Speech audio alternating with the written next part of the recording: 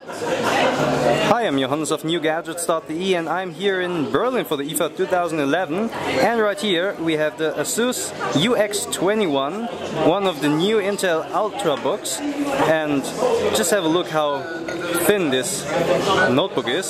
So it's really thin and let's have a quick look around. So this one won't start because it's a pre-production sample. So we have a chiclet style keyboard over here, very big touchpad with integrated mouse buttons and everything is metal over here so it looks really nice.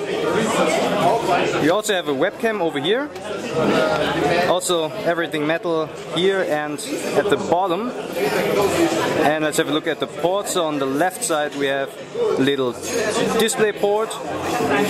Right here we have USB port, audio port. And on the right side there's a little USB 3.0 port and a DC in.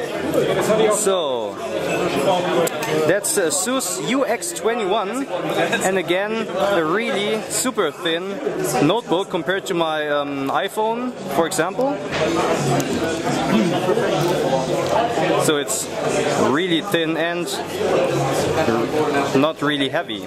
So that's the UX21.